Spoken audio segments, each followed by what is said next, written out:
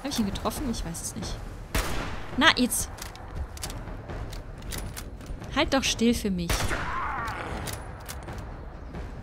So, Köpfchen. Oh, jetzt ist er wütend, würde ich sagen.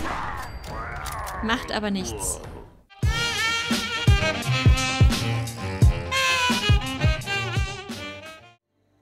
Hallo zusammen und herzlich willkommen zu einer neuen Folge von Fallout 76. Und ich wollte eigentlich gerade sagen, ähm, dass ich überhaupt keine Ahnung habe, was wir hier gemacht haben, wo wir sind, denn meine letzte Aufnahmesession dieses Spiels ist schon, ja, ich glaube jetzt zwei Wochen her.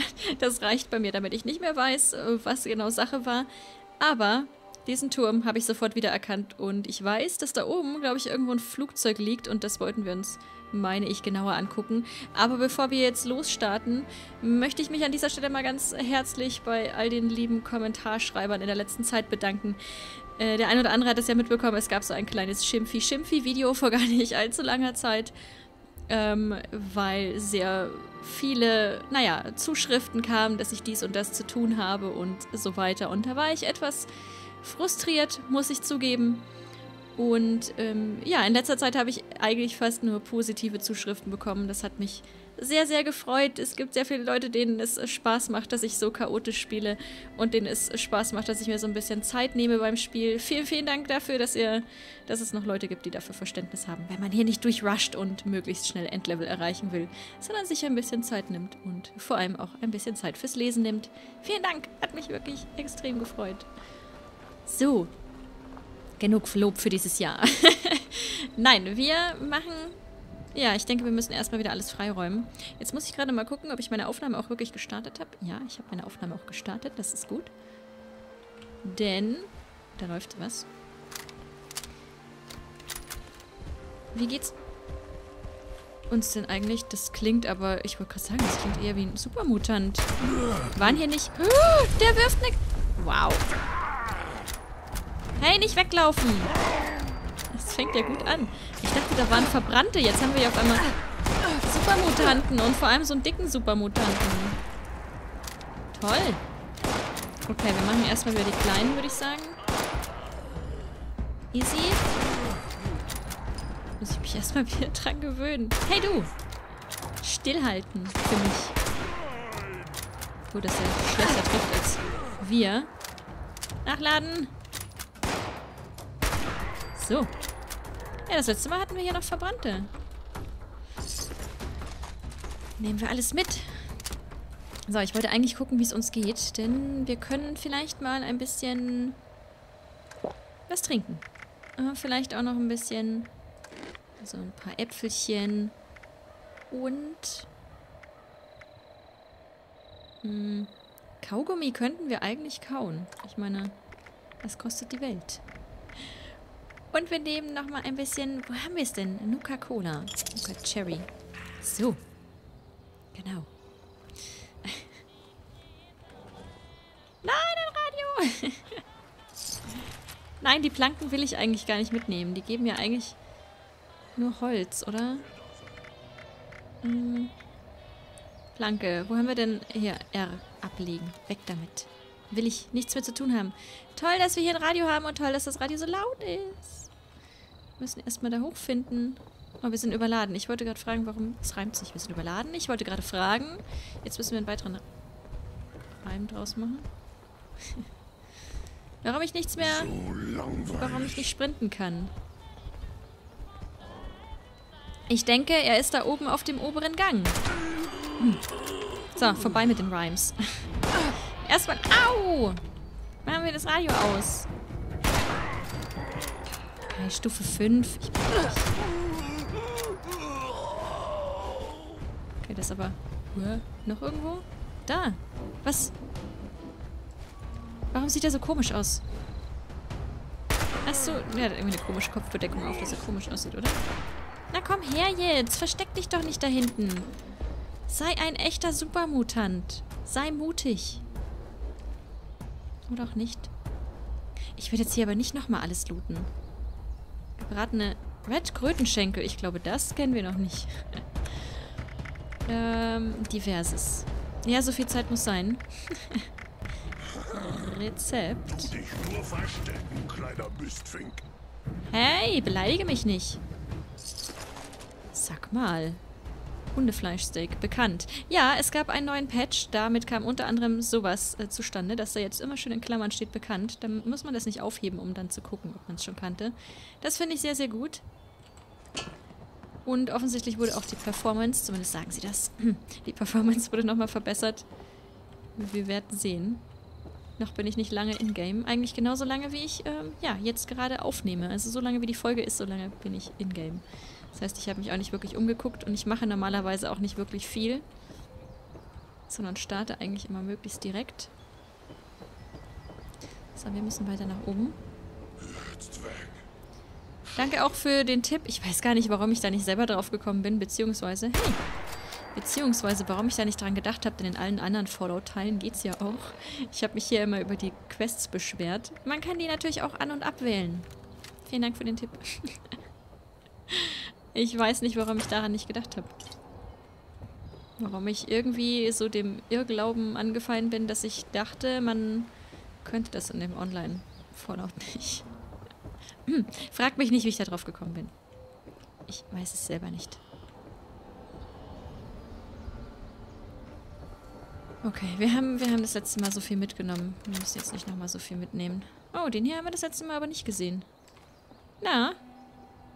Habt ihr noch ordentlich... Wurdet ihr noch ordentlich gebadet, bevor ihr ge gegessen wurdet?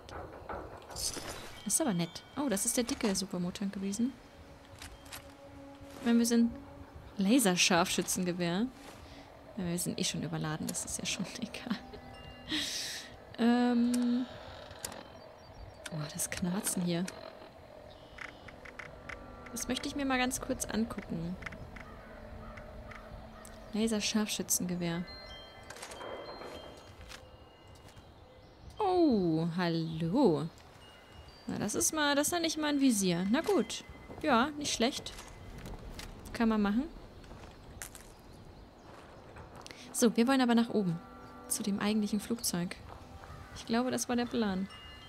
Und dann werden wir auf jeden Fall in dieser Aufnahmesession nochmal zurück in dieses eine Anwesen gehen und den Schleier aufsetzen. Hm, den werde ich schon die ganze Zeit bei uns tragen. Was mir nicht aufgefallen ist. Kronkorken, Jagdgewehr nehmen wir auch mit. Wir haben ganz schön viel Zeug bei sich. Ja, der Siedler hat immer, immerhin ein bisschen Geld. Leckerer Stechflügel-Eintopf. Den kennen wir noch nicht. Ähm, Rezept. So. Finde ich aber sehr gut, dass sie das jetzt so gemacht haben, dass man sieht, was man schon kennt. Damit man eben wirklich nicht ständig diesen unnötigen Kram aufhebt und zehnmal das gleiche Rezept hat.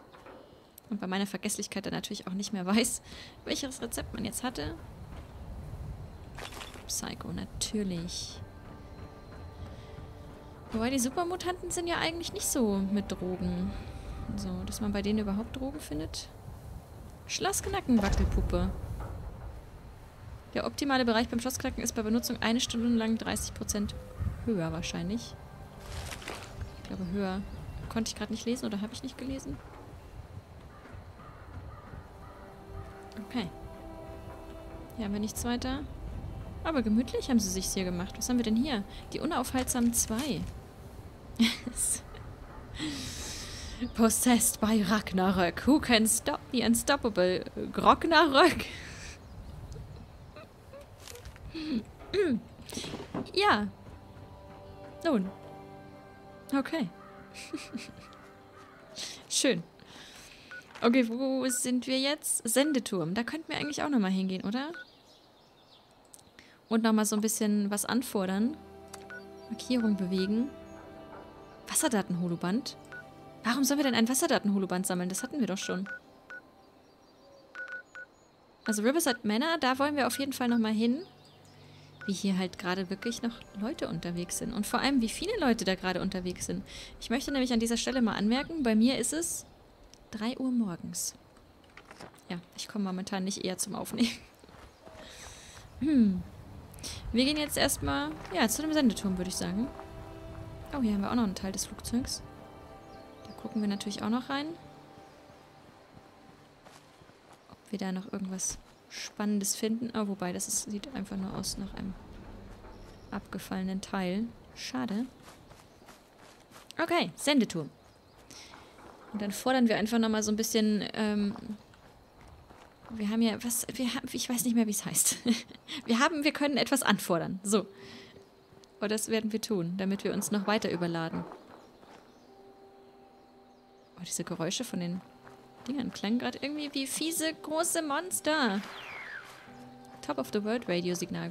Radio, Radio-Signal. Nein, ich habe Angst, dass ich das, wenn ich das anmache, dass dann... Ihr wisst es ja.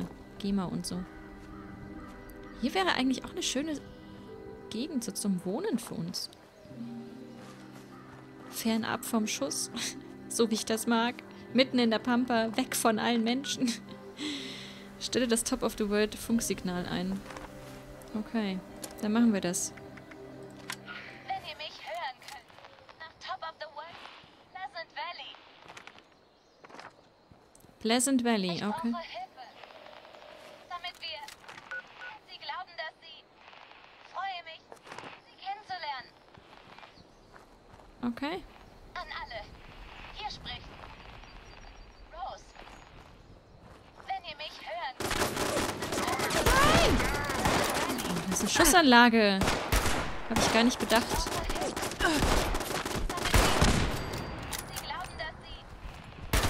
Okay, wir können das eigentlich wieder ausmachen, wollte ich gerade sagen. Aber erstmal müssen wir uns heilen. Hi, du. Ich habe so ein bisschen Angst, wenn Supermutanten auf mich mich hören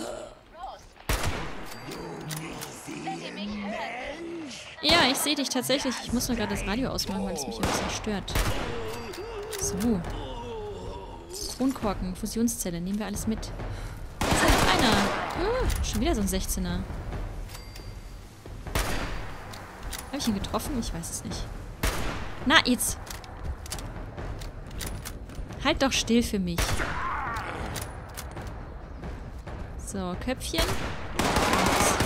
Oh, jetzt ist er wütend, würde ich sagen. Macht aber nichts. So, der Turm hat nichts. Nehmen wir mit. Wir haben zumindest immer hübsches Zeug. Benzinkanister, Ölkanister, so viel Kram. Hm.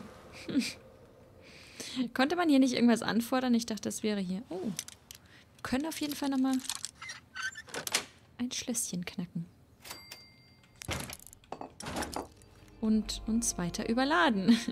Eine Werkbank wäre toll. Lässt sich das vielleicht einrichten, dass wir hier eine Werkbank bekommen? Nein?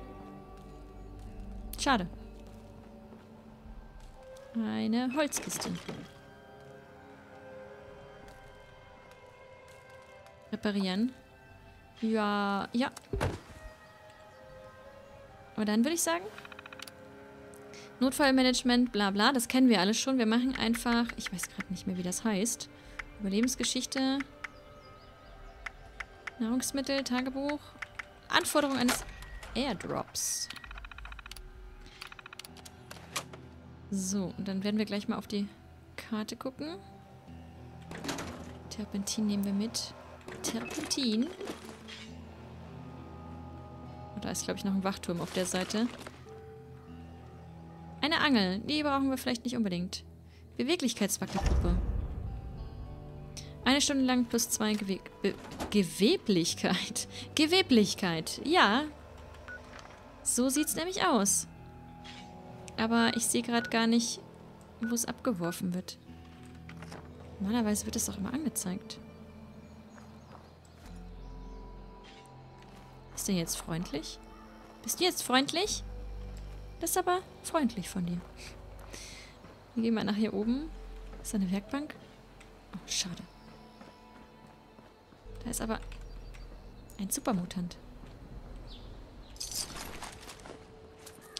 Okay, wo ist unser Airdrop? Ich fühle mich gekränkt gerade. Eventuell die Ghoul-Horde der Wald. Sehr schön. Ja, ja, ja. Wir können auf jeden Fall noch zu Riverside Manor gehen. Das hier verstehe ich nicht, warum das angezeigt wird, ehrlich gesagt.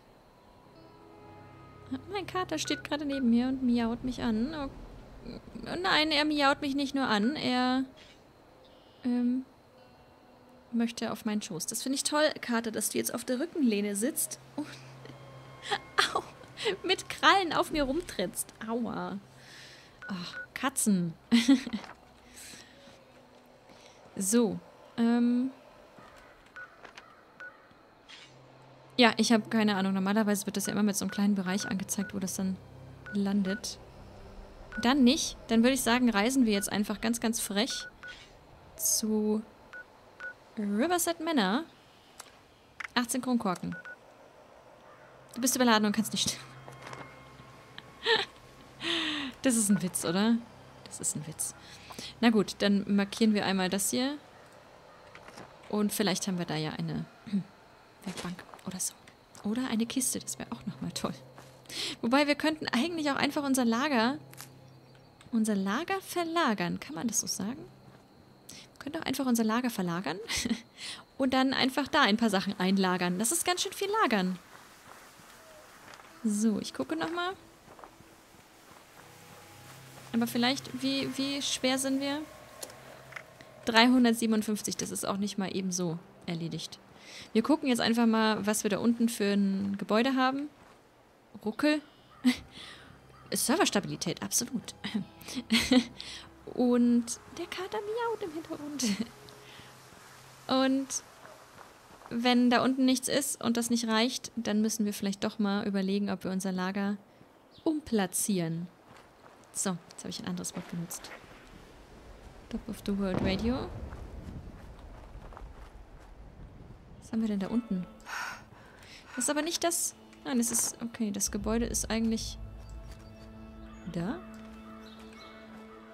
Und was haben wir hier? Ja, Charakter. Lass dir Zeit. Dieses Schattenspiel hier manchmal. Haben wir hier irgendwas Spannendes? So, Loot, Diamanten, Edelsteine, Leichen. Nicht unbedingt das, was ich finden wollte. Das Bonder-Notfallsignal gefunden. Ich möchte es gerne ausschalten.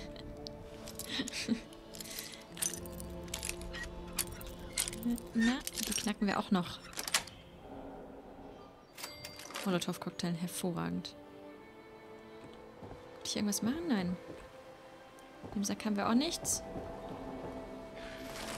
Das ist aber gut. Ja nun, da müssen wir da rüber. Aber das sieht hier auf der Karte jetzt aus wie ein Diner. Aber das ist doch kein Diner, oder? Also das Symbol ist eher so. Naja, wobei Diner, hm. Verwaltungsgebäude. Ich weiß nicht mehr, welches Symbol das da unten jetzt ist, was über dem Westen sozusagen ist. Es könnte auch ein Verwaltungsgebäude sein. Holz. Ich meine, hier ist, hier ist schon schön, aber hier ist auch ziemlich waldig. So für eine Base. Ah, hier haben wir das sieht irgendwie komisch aus. Sind das Steine? Es sind Steine. Na, nein, nicht trinken! Was tust du denn? Spring! Eieiei! Hallo, ich suche eine Werkbank. Ist jemand zu Hause und möchte mir seine Werkbank hm, zur Verfügung stellen? Das wäre sehr freundlich. Wand. Okay, ich würde sagen, da vorne wohnt schon einer. Verdammt. Ich möchte keine Nachbarn. Und Buhle möchte ich... Okay, verbrannte. Möchte ich... ich auch nicht. Sag mal! Ja, es ist schon... Es ist, es ist sehr früh. Oder sehr spät, je nachdem, wie man es sehen will. Der ist weggerannt. Stift. Hallo?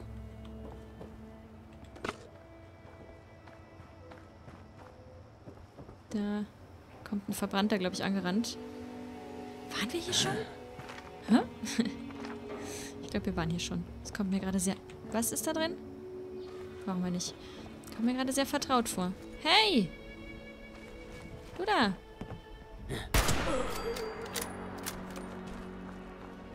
Ich meine schon. Ich kann mich jetzt aber auch irren. Es ist, wie gesagt, schon ein bisschen her. Die letzte Aufnahme. Und wenn wir hier in der vorletzten Aufnahme waren, dann ist es für mich ja noch länger her.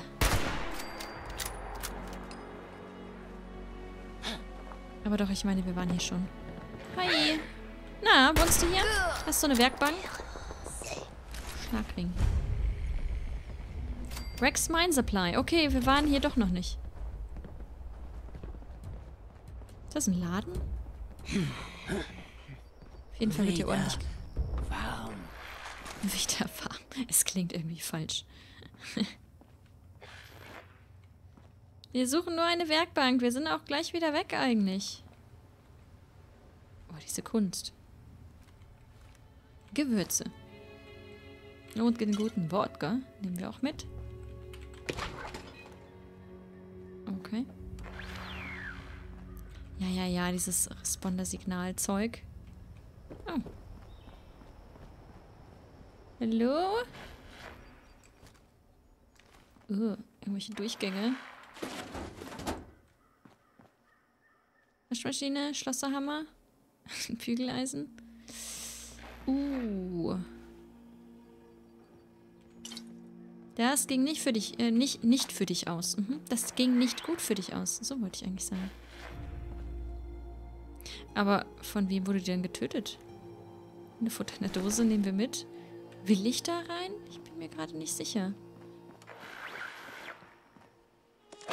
Das nehmen wir mit. Ich gucke erstmal kurz, was hatten wir denn hier oben noch? Da hatten wir ja, glaube ich, noch irgendein Haus oder einen Laden oder so. Hier. Und vielleicht eine Werkbank. Okay, er ist da oben. Kommen wir hier rein? Schlüssel erforderlich. Er kommt bestimmt runter. Bringt er uns den Schlüssel mit? Das wäre super freundlich. Eher nicht. Immer diese Brutalität unter Nachbarn, Leute. Ja. Aua. Wurden wir gerade von hinten gebissen? Das hat sich so angefühlt. Warum läuft denn jetzt hier auf einmal ein Radio? Wir alle. Ja, schieß! Oh, Mädel. Okay. Jetzt hat das Radio wieder aufgehört. Nein, es do läuft doch weiter. Da hat letztens auch jemand in die Kommentare geschrieben, eine sehr, sehr gruselige Geschichte. Ähnlich gruselig wie diese Radios, die plötzlich anfangen und wieder aufhören und wieder anfangen. Sind äh, sich äh, plötzlich öffnende WC-Türen. Gut, dass uns das noch nicht passiert ist. Ich hätte wahrscheinlich die Beine in die Hand genommen und wäre weggerannt. Na, wo ist denn das Radio? Warum ist es denn hier so laut, Mann? Ach, kriege ich wieder Ärger. Es ist alles so verwinkelt hier auch irgendwie. Das ist ein Radio, aber das läuft nicht. Nein. Hm. Alles sehr seltsam. Und einfach keine Werkbänke. Oh, was ist das denn? Gelber Kanister. Typ T-Sicherung. Okay. Für was auch immer wir eine Typ T-Sicherung brauchen. Typ T, ist das irgendein Roboter oder? Oder ist es allgemein... Oh, hier geht's runter. Ist das allgemein einfach eine Sicherung, die wir für einen gewissen Kasten brauchen? So, aber ich will nicht überziehen, denn ich habe nicht viel Zeit. Ich bedanke mich wieder recht herzlich fürs Zuschauen. Ich hoffe, es hat Spaß gemacht und ich würde mich freuen, wenn wir uns in der nächsten Folge ähm, da unten wiedersehen würden. Bis dahin.